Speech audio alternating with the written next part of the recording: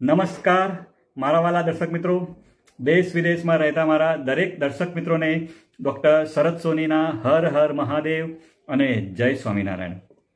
મિત્રો, આજના વિડીયોમાં આપણે વાત કરવાના છીએ કે શું તમને બાથરૂમમાં અડધો અડધો કલાક બેસ્યા પછી પણ તમારું પેટ બરાબર સાફ થતું નથી? એનો જવાબ જો હા છે, તો મિત્રો, આજનો વીડિયો તમારા માટે છે. મિત્રો, વાત કરું તો જો પેટ બરાબર સાફ ન થવું, એ એક એવી સમસ્યા છે જેમાં દુનિયાભરના કરોડો લોકો પીડિત છે. મિત્રો, આજના વિડીયોમાં હું તમને ત્રણ આયુર્વેદિક જડીબુટ્ટી વિશે વાત કરવાનો છું, જે તમારા આંતરડામાં રહેલી જૂનામાં જૂની ગંદકી નીકાળીને બિલકુલ સાફ કરી દેશે. તમારા આંતરડામાં રહેલા ઝેરી તત્વોને પણ નીકાળીને બહાર કાઢી દેશે અને તમને સ્વસ્થ અને નિરોગી જીવન જીવવામાં મદદ કરશે. મિત્રો, સવારે સવારે જો આપણું પેટ પૂરેપૂરું સાફ ન થાય, તો આપણો આખો દિવસ નીરસ રહે છે. મિત્રો, આપણને આખો દિવસ મૂડ પણ રહેતો નથી અને કામ કરવામાં આપણને કોઈ રસ પણ લાગતો નથી અને આપણો સ્વભાવ ચીડચીડાપણાનો થઈ જાય છે. અને કામ કરવામાં આપણું મન પણ લાગતું નથી. પણ જો આપણું પેટ સવારે એકદમ પરફેક્ટ સાફ થઈ જાય તો આખો દિવસ આપણો તાજગીનો અનુભવ કરીએ છીએ અને એનર્જેટિક આપણે ફીલ કરીએ છીએ. મિત્રો, કુદરતે આપણા આંતરડાને એવી રીતે બનાવ્યું છે કે આપણે જે ખાધું હોય તે બીજા દિવસે સવારે બહાર નીકળી જાય છે. અને જો દરરોજ આવું થાય તો આપણા શરીરની બધી જ સિસ્ટમો સારું કામ કરે છે. પરંતુ મિત્રો, સમસ્યા એ છે કે આવું થતું નથી. આપણા ખાવા પીવાની આદતો એટલી બધી ખરાબ થઈ ગઈ છે કે આપણા શરીરમાં જમા થયેલો વેસ્ટ મટીરિયલ પૂરેપૂરો સાફ થતો નથી. અને આ જ કારણ છે કે ધીમે ધીમે આ ગંદકી આપણા આંતરડામાં ચોંટી જાય છે અને સડવાનું કામ કરે છે. અને એના લીધે ખતરનાક, ખરાબ હાર્મફુલ બેક્ટેરિયા પેદા થાય છે. ઝેરીલા તત્વો એટલે કે ટોક્સિન પણ અંદર પેદા થાય છે. અને આ ટોક્સિન આપણા આખા શરીરમાં ફેલાય છે અને આપણને અલગ અલગ બીમારીઓ ઉત્પન્ન કરે છે. મિત્રો રિસર્ચની વાત કરું તો રિસર્ચ એવું કહે છે કે જો તમારું પેટ બરાબર સાફ થયું ના હોય તો ક્રોનિક કોન્સ્ટિપેશન પણ થઈ શકે છે પાઇલ્સ પણ થઈ શકે છે ફિશર પણ થઈ શકે છે માથું દુખવાની સમસ્યા થઈ શકે છે માથું ભારે લાગવાની પણ સમસ્યા થઈ શકે છે પેટમાં દુખાવો થઈ શકે છે જીભ ઉપર છાલા થઈ શકે છે થાક અને નબળાઈનો આપણને અનુભવ થઈ શકે છે ભૂખ ન લાગવી એવી પણ મિત્રો સમસ્યા થઈ શકે છે પેટમાં ગેસ એસિડિટીની પણ સમસ્યા થઈ શકે છે ઇનડાઇજેશન જેવી પણ આપણને સમસ્યા થઈ શકે છે અને ઘણી વખત સ્કિનના પ્રોબ્લેમ પણ થઈ શકે છે અને ખીલ પણ થઈ શકે છે એટલા માટે મિત્રો, પેટની અને આંતરડાની સફાઈ કરવી ખૂબ જ જરૂરી છે. મિત્રો, વિડીયોમાં આગળ વધતા પહેલાં એક ઇમ્પોર્ટન્ટ વાત કહેવા માગું છું કે અમે જે વીડિયો બનાવીએ છીએ તે સંપૂર્ણ રિસર્ચ કરીને જ મિત્રો અમે વીડિયો બનાવીએ છીએ. જેથી વાતને પૂરેપૂરી સમજવા માટે તમારે આખો વીડિયો જોવો જોઈએ. મેં ઘણી વખત જોયું છે કે ઘણા બધા લોકો વીડિયો આગળ વધારી વધારીને જોતા હોય છે અથવા પૂરેપૂરો જોતા હોતા નથી. જેનાથી શું થાય છે કે અડધી વાત સમજમાં આવે છે અને અડધી વાત સમજમાં આવતી નથી. જે તમારા સ્વાસ્થ્ય માટે હાનિકારક પણ મિત્રો થઈ શકે છે એટલે વિડીયોને પૂરેપૂરું જોવાનું રાખો. મિત્રો, હવે જે પહેલી આયુર્વેદિક જડીબુટ્ટી છે, તેનું નામ છે મિત્રો ત્રિફલા.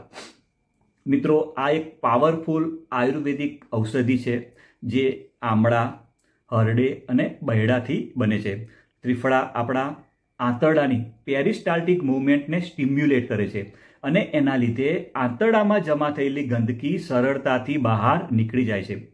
મિત્રો, ઘણા બધા લોકોને હવે પેરિસ્ટાલ્ટિક મુવમેન્ટ વિશે ખબર નહીં હોય. તો મિત્રો પેરિસ્ટાલ્ટિક મુવમેન્ટ વિશે જો વાત કરું, તો એક, આ એક એવી મૂવમેન્ટ છે કે જે વેસ્ટ મટીરિયલને આગળ ધકેલવાનું કામ કરે છે. જેનાથી વેસ્ટ મટીરિયલ કે ગંદકી શરીરમાંથી બહાર નીકળી જાય છે.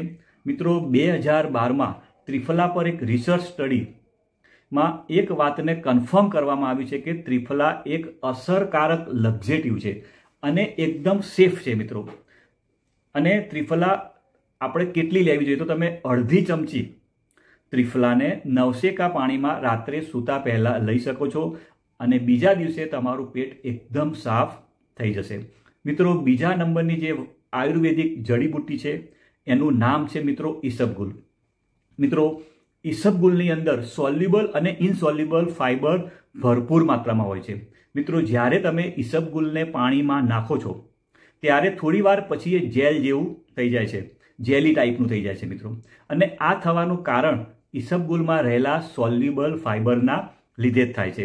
મિત્રો, જ્યારે આપણે ઈસબગુલને ખાઈએ છીએ, ત્યારે આવી જ રીતે તે પેટમાં શું કરે છે? પાણીનું શોષણ કરે છે અને જેલ જેવી ચીજ બનાવી દે છે. જેનાથી આંતરડા ચીકણા થાય છે અને જે જમા થયેલી ગંદકી છે, સરળતાથી બહાર નીકળી જાય છે.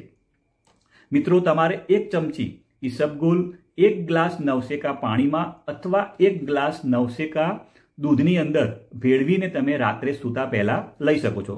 મિત્રો ઈસબગુલ્લો ઉપયોગ કરતા વખતે તમારે બે ચીજોનું ધ્યાન રાખવાનું છે. તો પહેલી વાત એ છે કે ઈસબગુલ ખાધા પછી તમારે થોડું પાણી વધારે પીવાનું છે, જેથી જેલ બરાબર બની શકે અને એ ચીકનાહટ પેદા કરી શકે.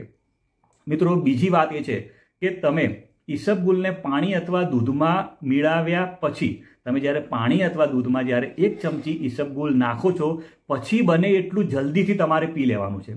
નહીતર શું થશે કે બહાર જ જેલ જેવું બની જશે, જેથી તમને પીવામાં થોડી તકલીફ પડશે. એટલે કે તરત જ જેવું આપણે અંદર નાખ્યું પાણીમાં એવું તરત જ આપણે એને પી જવાનું છે. મિત્રો, હવે ત્રીજા નંબરની જે વસ્તુ છે, જે આપણી આયુર્વેદિકમાં જડીબુટ્ટી કહે છે, એને ઔષધિ પણ કહે છે અને એ વસ્તુનું નામ છે મિત્રો અંજીર. મિત્રો, અંજીર પણ આંતરડાની સફાઈ માટેનું બેસ્ટ વસ્તુ છે.